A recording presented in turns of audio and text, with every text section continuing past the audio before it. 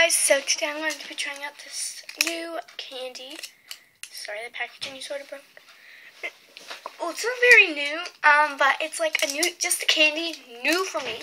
Not that new, but sort of new. And it's like this sour, let me move to a brighter light location. So, we should set the camera up here.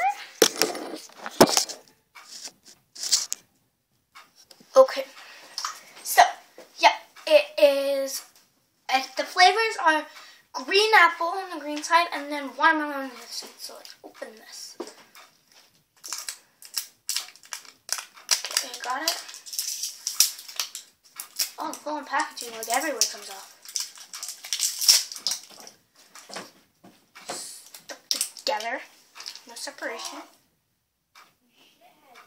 So, there's different tubes, so I'm just gonna try. Feel like green apple would be. Green apple.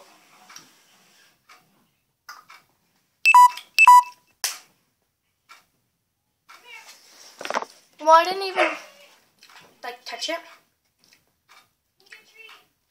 I'm gonna try it with watermelon.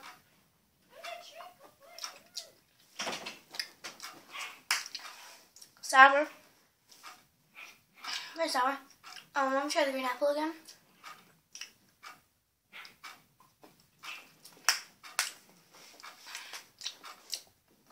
Ah, there's the apple. Oh.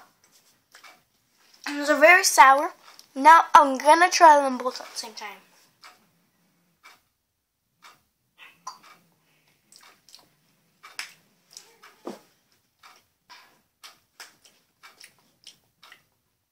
If you're wondering what one I can taste more, it's definitely watermelon. Um, they're both good on the sour content for the green apple. Um,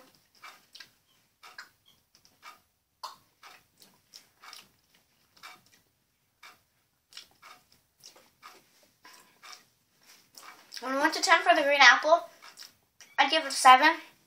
And then for the watermelon,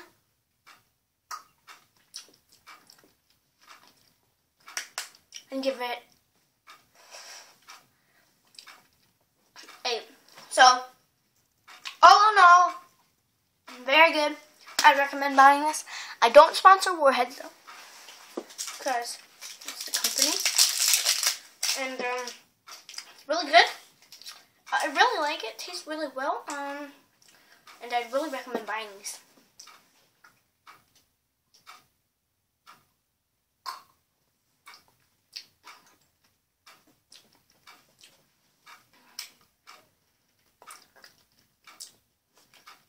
Ah.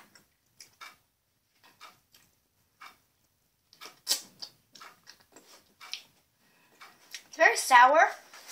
Like nice and good. Um so um there you guys have it. Um Warheads sort of like sour juice. Um it's very well. Um I like it. And um, yeah, I'd recommend buying it.